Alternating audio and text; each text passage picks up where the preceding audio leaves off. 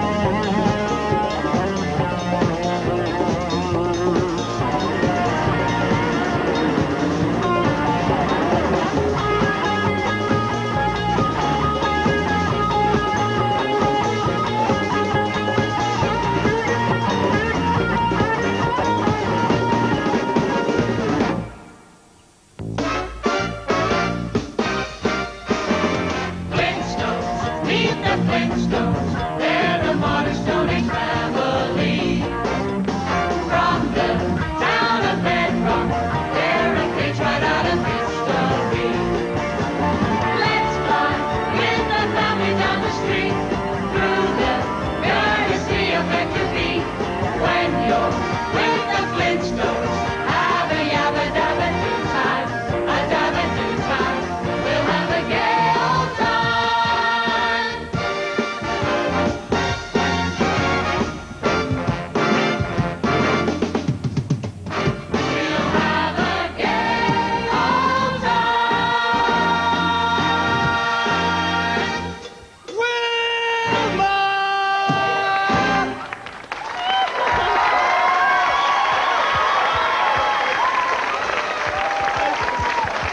Brilliant. Our colleagues, our colleagues from the Independents.